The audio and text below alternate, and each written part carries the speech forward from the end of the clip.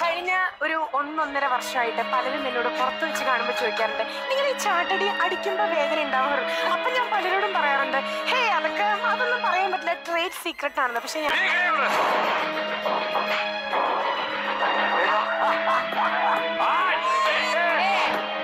അടിച്ചോ അടിച്ചോ